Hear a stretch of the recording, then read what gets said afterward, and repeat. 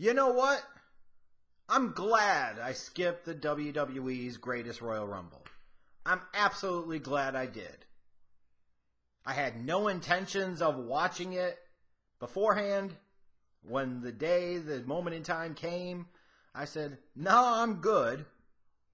And based off of what I read in terms of the results, I don't feel like I missed a whole lot, if we're being real.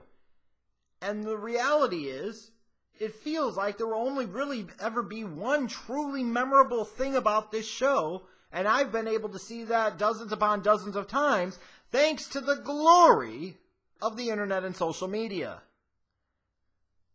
So that five second clip of Titus O'Neil gave me all that I needed. I could skip most of the rest of the five hours. This whole concept of the greatest Royal Rumble, it's all this stupid stuff about the WWE continuing. We want to make history. We want to do bigger and better and badder than ever and all this other dumb crap. We're going to have a 50 man Royal Rumble. Like, who in the hell wants to watch that? I know. Wrestling nerds. Well, this wrestling nerd did not.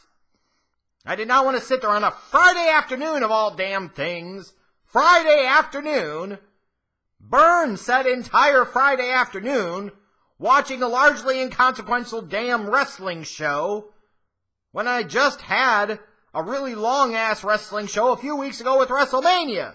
These big shows are all way too damn long. No thank you. I'm good.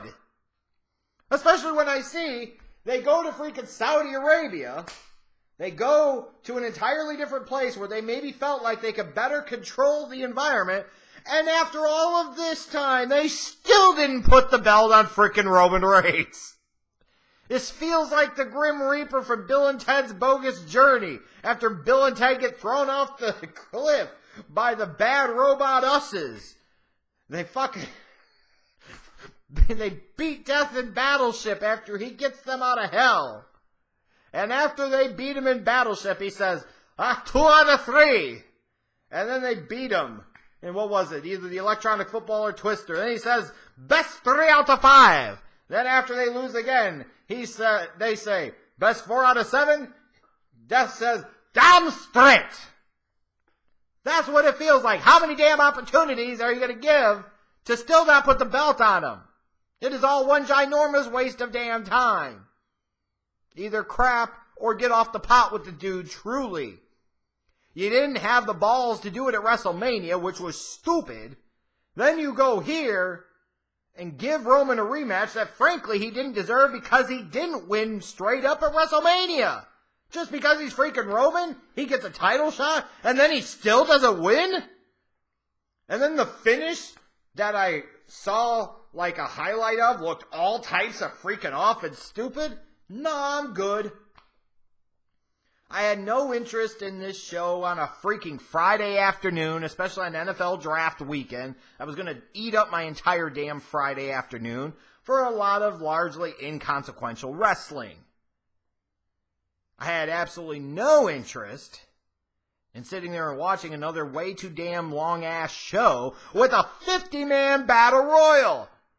I had no interest in supporting this show that was nothing more than a pathetic cash grab for the WWE. We all know why they did it. They got a shit ton of money from the Saudi Arabian government.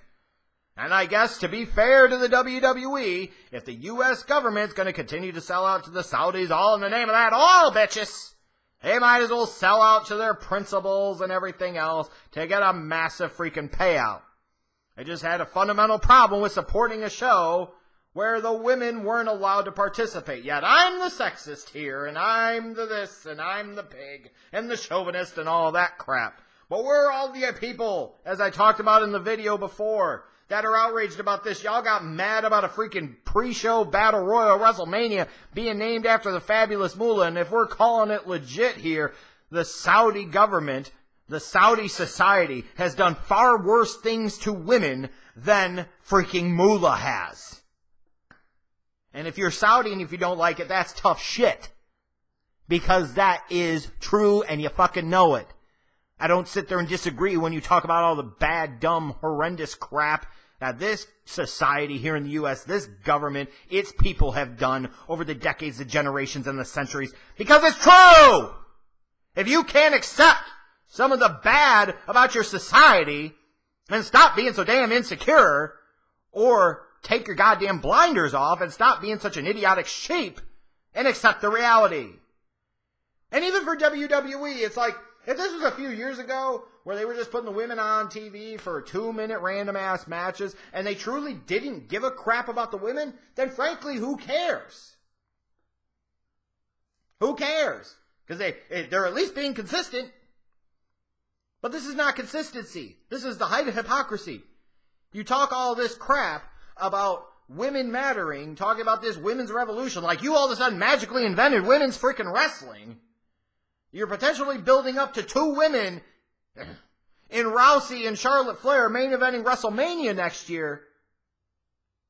Yet you give no craps about that at all, so that way Vince and a bunch of the other fucking boys could dress up in shirt and ties and eat dinner with some of the damn royal fucking family and sit there and get a massive fucking payout. Screw that. I have no interest in supporting that. I had no interest in watching this damn show. The only thing that good that comes out of this is there's an opportunity here to push Titus O'Neil to the moon.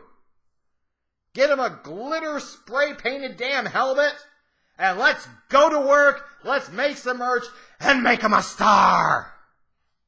But other than that, five hours of this crap on a Friday afternoon, nah, I'm good.